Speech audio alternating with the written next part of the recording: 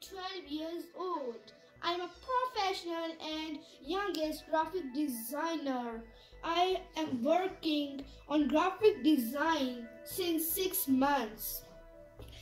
Sir Mubashir teach me from Seekho and Sikhao and my father also motivated me for this work. I design letterhead, logos, uh, flyers, posters and anything on Photoshop and Illustrator and do photo editing. Please have to subscribe my channel, click the bell icon, like, like, watch and share my videos.